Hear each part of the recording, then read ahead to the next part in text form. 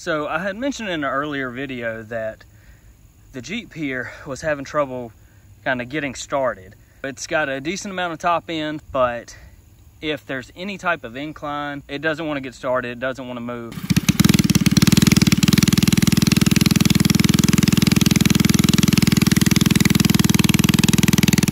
It's running just a standard centrifugal clutch and I'm running the biggest axle sprocket that I can for this size tire.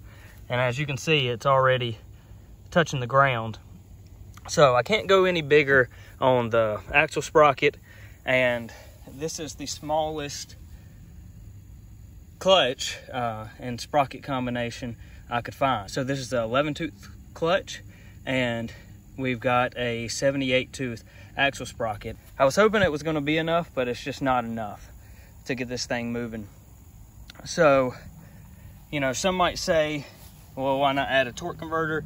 There's just not enough room with the way I built this frame to add a torque converter. And I really wanted to keep this Jeep the size that it is.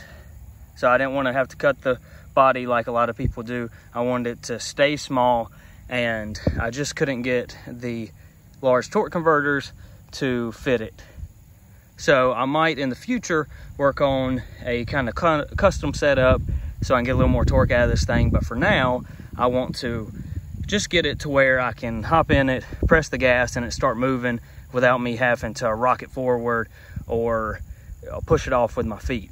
So what we're going to do today is I'm going to change out the spring in the clutch there.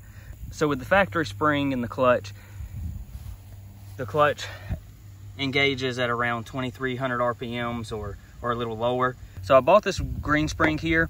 It'll let the clutch engage at around 2500 RPM, which is closer to the RPM that this engine produces max torque at. So hopefully just adding the spring, bumping up the engagement by a couple hundred RPM will help this engine get this Jeep moving here.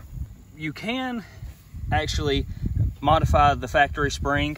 You can take the spring out, cut a couple links out of it, connect it back together, but you also have to take the shoes out and cut at least two of them in half. And the reason for doing that is that you need to reduce the size of those shoes. And just by cutting them in half, you're taking out the amount of material that is equal to the width of the blade you're using to cut it. And if you watch any of Max Torque's videos, that's what they suggest doing because otherwise you won't be able to get that factory spring back in because it'll just be too short compared to the size of the groove in the shoes.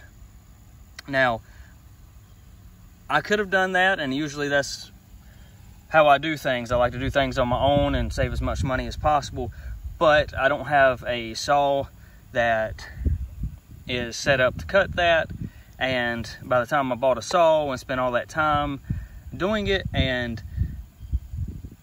you know potentially doing it and not work. It just wasn't worth it. It wasn't worth the time the effort when I can buy a pre-made spring that doesn't require me to cut anything that I can pop in in just a couple minutes. And you know the spring was 15 bucks so that's well worth the lack of hassle and time required to modify this on my own. So we'll get the clutch off and we'll get this new spring on. And they sell all kinds of springs for these things that engage at different RPMs. So they have quite a selection.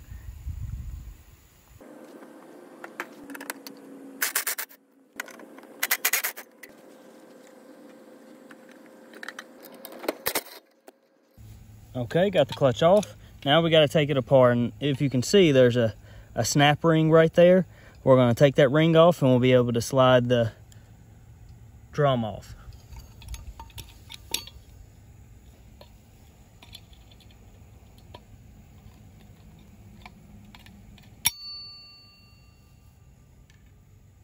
Okay, snap rings off, and as you can see, you can just pull the drum right off. So now if the drum's off, we can take this larger snap ring down in here off, and then we'll be able to get to the factory spring and the shoes here.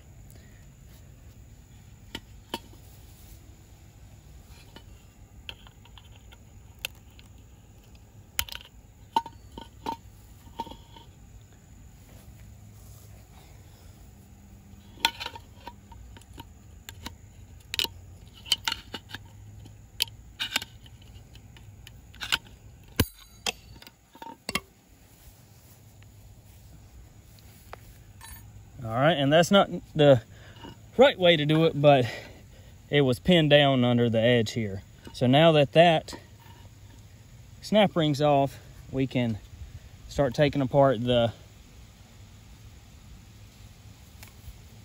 rest of it here. Okay. So we've got our top plate off. And as you can see here, we've got all of our weights and then we got our spring. So we'll take the factory spring out, get this one in.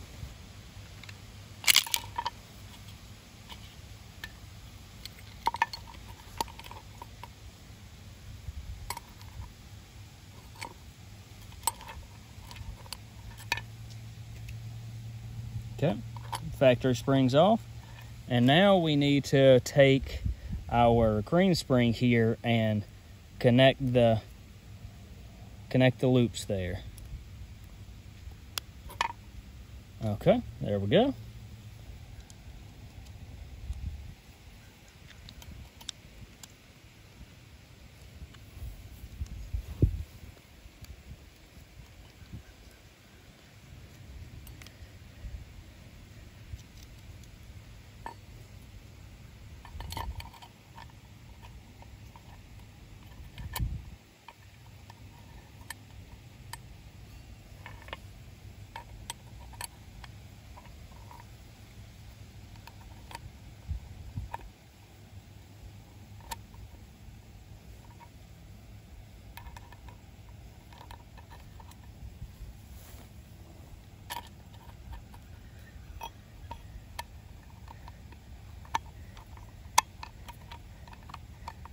Okay, so I've pretty much got it in its groove. We'll put the top plate back on. There we go.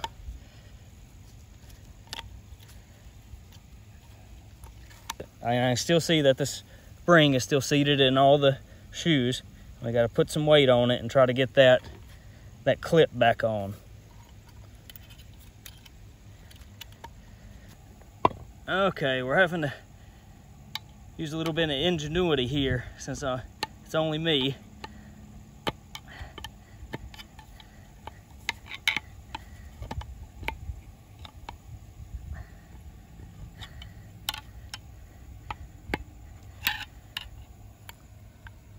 Okay, got that snap ring started. There we go. We got the snap ring in. All right, so now we can assemble the rest of it. Got this little bushing that goes down there before we put the drum back on. Drum's back on, and now we'll put the little bitty snap ring that holds the drum back on, on there.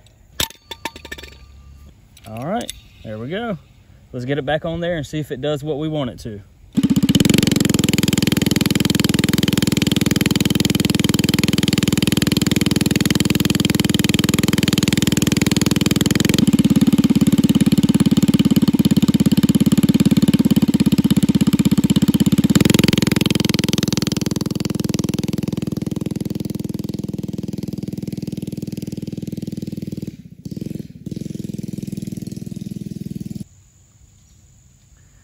All right, so as you can see, it did make a little bit of difference. It did get moving a little quicker on its own, but it's still not really where I want it to be at. Um, still struggling a little bit on inclines. So at some point I am gonna have to try to make a custom torque converter or, you know, kind of mess around with some jack shafts um, to kind of customize the gear ratio to get a little more torque. Uh, top end, it's, it's pretty good. It just needs a little bit on the the bottom so it's more enjoyable.